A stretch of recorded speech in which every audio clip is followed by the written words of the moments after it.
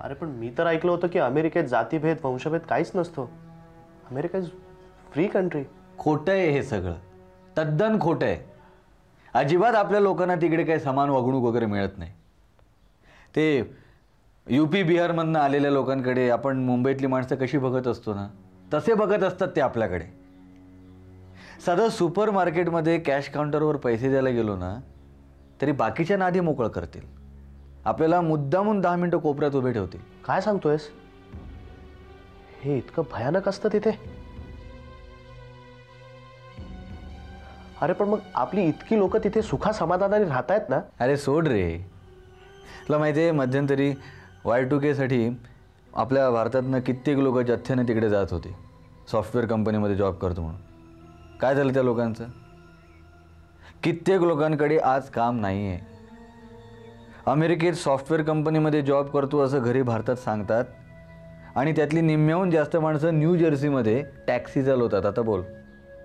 अरे पण मग तिकडे टॅक्सी चालवण्यापेक्षा ते इथे भारतात का नाही येत? अरे कुठल्या तोंडाने येणार? आपलंच बघा. आज आईला कुठेतरी लग्नाला जायचं होतं. नाही गेली का? तिथे जर माझा विषय निघाला तर काय उत्तर देणार? कुठल्या तोंडानं आपल्या लोकांनी इथं भारतात परत यायचं?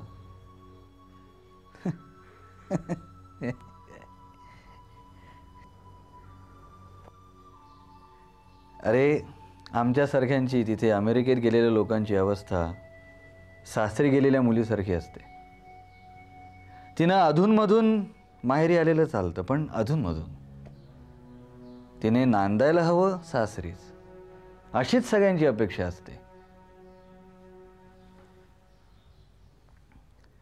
फार फार भयंकर अनुभव होता तो. कुठला? आम्हाला पोलिसांनी पकडलं होतं ना तेव्हा. अरे तुला कल्पना सुद्धा करता येणार नाही इतका भयंकर अनुभव होता. इथे भारतात आलेल्या सगळ्या बातम्या वरवरच्या होत्या. खरं काय घडलं कोणालाच ठाऊक नाही काय घडलं? नाही नको. मी बोलायला लागलो ना की मी आणखीन डिस्टर्ब होत जाणार. मलाच त्याचा त्रास होणार. नकोच ते. नंतर कधीतरी सांगेन.